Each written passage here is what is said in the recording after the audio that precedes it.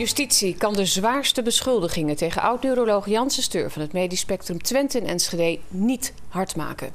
Dat heeft dus gevolgen voor de hoogte van de straf. Het Openbaar Ministerie heeft vandaag 24 patiënten verteld wat er met hun zaak gaat gebeuren. Soms liepen de emoties daarbij hoog op. Justitie heeft ruim drie jaar nodig gehad om vandaag bekend te maken dat oud-neuroloog Janssen Stuur van het Enschedeze ziekenhuis MST wordt vervolgd. Hij zou bij een aantal patiënten schade hebben toegebracht aan de gezondheid.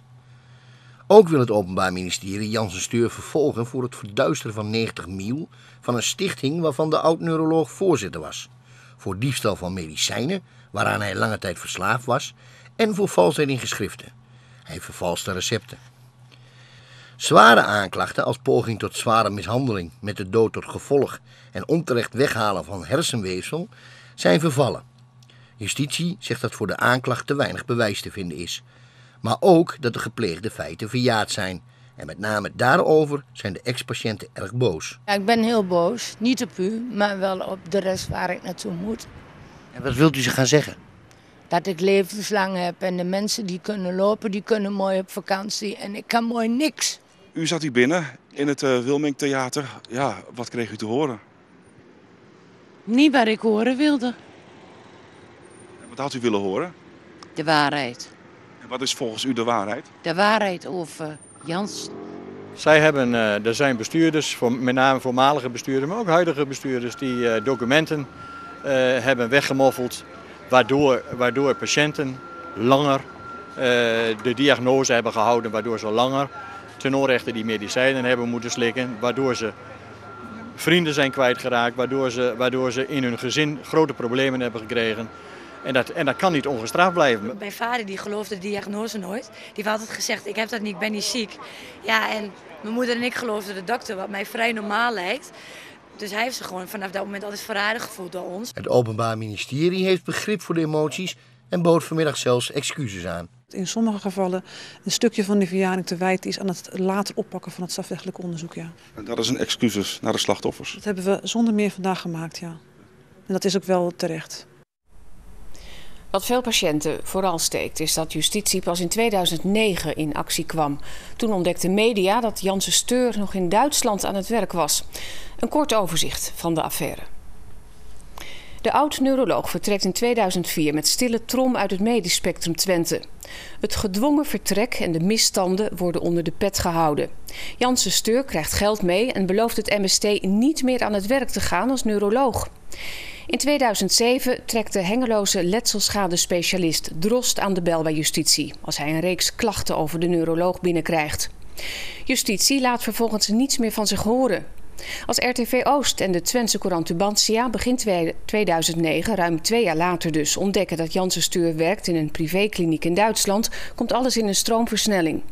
Justitie start alsnog een onderzoek en moet erkennen dat door drukte niet eerder is ingegrepen. Sommige patiënten worden daarvan nu de dupe, want de fouten van Janssen Steur zijn te lang geleden gepleegd. En dat is voor veel patiënten onverteerbaar. Justitie vervolgt de neuroloog wel voor misstanden die hij zou hebben gepleegd bij negen andere patiënten. Ja, en verslaggever Mark Bakker staat nu bij het politiebureau in Enschede. Mark, de persconferentie van het Openbaar Ministerie is net achter de rug. Wat is daar nou bekendgemaakt? Nou, daar hoorden we eigenlijk niet zo heel erg veel nieuws. Ze vertelden wel dat het een zeer complexe zaak is. Een zaak waarbij de emoties van de slachtoffers natuurlijk ook heel hoog opspeelt. Maar het belangrijkste nieuws, dat hoorden we pas na de persconferentie. Toen ik persoonlijk werd aangesproken door iemand die mij vertelde dat er in deze zaak ook een dode te betreuren valt. Nou, het gaat om een persoon die zichzelf van het leven heeft beroofd. Dat heeft deze persoon gedaan omdat hij een diagnose kreeg te horen waarin werd vastgesteld dat hij niet meer lang te leven had. Nou, een dode in deze zaak, dat maakt het alleen nog maar veel ernstiger. Mark, wat gaan uh, teleurgestelde patiënten nu doen die hun zaak hebben zien stranden? Nou, wat ze kunnen doen is een civiele procedure aanspannen. Dus dan, dan, dan, stellen ze dus, ja, of dan houden ze dus uh, de neuroloog persoonlijk verantwoordelijk voor de schade die hij hun heeft aangebracht. Nou, dat gaat ook wel weer heel erg lang duren. Daar moeten ook nog weer onderzoeken voor komen. Maar ze krijgen in ieder geval wel ondersteuning van letselschadespecialist Imre Drost. En hij gaat in op een specifiek geval. Nou, als het gaat om de mevrouw waar hersenweefsel is weggenomen, ja, dat heeft mij ook verbaasd dat deze zaak niet op de telastenlegging komt te staan. Natuurlijk moet het Openbaar Ministerie keuzes maken. Maar ja, dit is toch een zaak die de rechtsorde behoorlijk geschokt heeft. Ik heb het Openbaar Ministerie in een brief op dat punt om opheldering gevraagd. Ja, Mark, het proces tegen de oud-neuroloog Jan Steur begint eind dit jaar. Maar de uh, oud-bestuurders van het ziekenhuis, hè, die de zaak altijd in de doofpot hebben willen stoppen, wat gaat daarmee gebeuren? Komt daar nog een zaak tegen?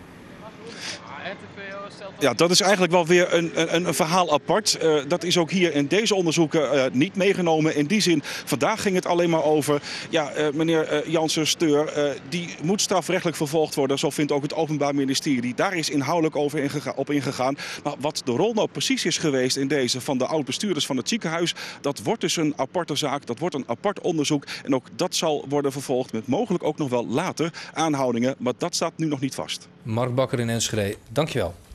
Música